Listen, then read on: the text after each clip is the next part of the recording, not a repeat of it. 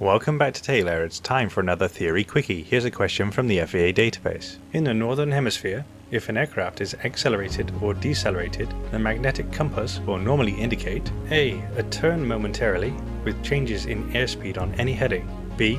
A turn towards the south while accelerating on a west heading, or C. Correctly when on a north or south heading while either accelerating or decelerating. The compass is subject to an error called magnetic dip. The magnetic portion of the instrument aligns itself with the Earth's lines of magnetic flux. These lines emanate from the poles and flow between south and north. This gives them a vertical as well as horizontal component. The compass works by having a card attached to the magnet, which is suspended in fluid on a pivot in the instrument casing. To read the instrument easily, we would like it to sit horizontally. Due to the fact that the Earth's magnetic flux is not fully horizontal, we need to make the south side of the magnet heavier in the northern hemisphere. As we accelerate the aircraft, take a look at the heading on the direction indicator and compare that to the heading shown on the compass. You'll see that the heading has stayed around 270 on the direction indicator, and yet on the compass it swung round towards the north and showing about a 276 heading. The compass will continue to show the incorrect heading while the aircraft is accelerating. Once the speed stabilizes, the compass will then show the correct heading once more.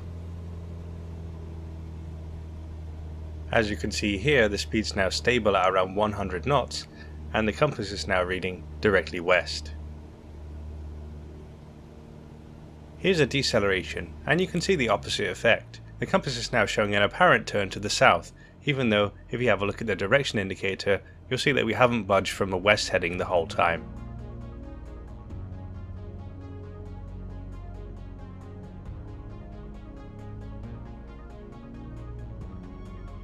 And with the speed now stable around 65 knots, the compass is returned to the west heading as shown before. So what's happening here? We know that the compass card sits on a magnet. While the aircraft turns, we can think of the aircraft moving around the compass card, which is attempting to stay aligned with the magnetic north at all times. This is why the numbers appear to be backwards when compared to the direction indicator. When we make an acceleration or deceleration, the compass magnet has no choice but to follow this trend. However, because the south pointing side of the compass has a slightly higher mass to keep it horizontal, it has more inertia, which makes it slower to react to the change than the north pointing side. Here's the same demonstration again from the east heading, but this time with one of my Pixar level graphical representations.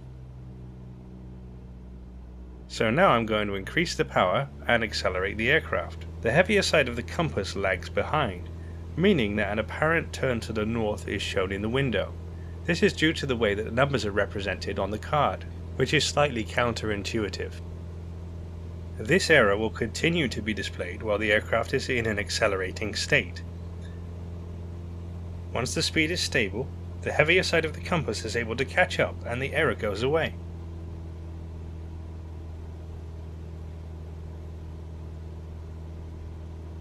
Here's the opposite effect. As the aircraft decelerates, due to inertia, the heavier side of the compass is more reluctant to slow down than the lighter side. We therefore see an apparent turn to the south. This error is displayed while the aircraft continues to decelerate. Once the speed stabilizes, the side of the compass which has been lagging will catch up and the compass will now read the correct heading again. In these examples, the compass magnet has been sitting at 90 degrees to the aircraft's direction of acceleration. This is the worst case scenario, and will therefore show the greatest error when making speed changes. Let's now take a look at the same example, but on a north heading. In this situation, the north-south axis of the compass, the aircraft's longitudinal axis, and the plane of acceleration will all be aligned. This alignment doesn't give the heavier side of the compass any opportunity to lag behind. We can therefore see that the compass heading doesn't change during the acceleration.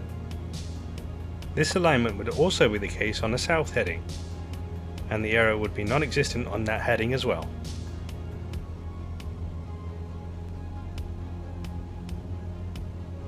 So here is the speed stable at just over 100 knots. The compass is still steady on a north indication, Let's now decelerate the aircraft to see the reaction.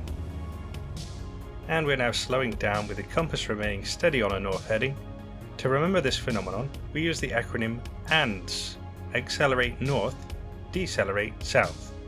This works in a northern hemisphere only. So to answer the question, in a northern hemisphere, if an aircraft is accelerated or decelerated, the magnetic compass will normally indicate C. Correctly when on a north or south heading while either accelerating or decelerating.